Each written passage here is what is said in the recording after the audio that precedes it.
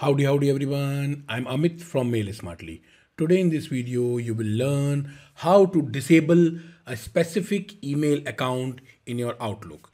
If you have only one email account, you can disable it. If you have multiple email account, you can disable it very easily. So I have multiple email addresses added in my Outlook and one of my email address receive tons of emails on a daily basis. The beauty of Outlook is you can disable it, but you won't lost any data from Outlook. So the method is you simply have to click on the send and receive tab. Now in the send and receive section, you will see send oblique receive groups. Click on it and you will see all your email addresses added here. If you scroll a little bit, there is an option define send and receive groups. You can also use Control Alt plus S keyboard shortcut to get there.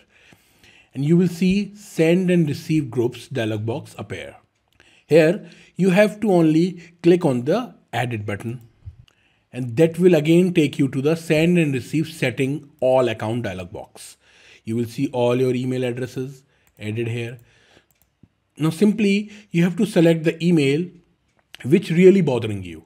So I just select this email and all I have to do is to uncheck this option, include the selected account in this group.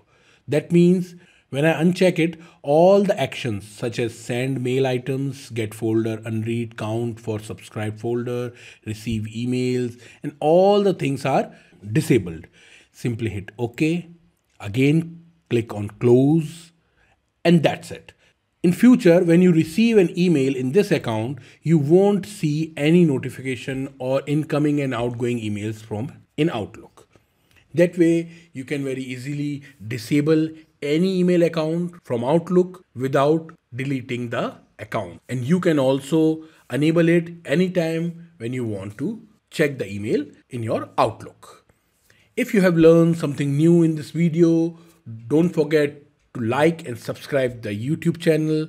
And please don't forget to click on the bell icon so you will never miss out any Outlook tips and problem solvers videos I come up with. Thank you and have a nice day.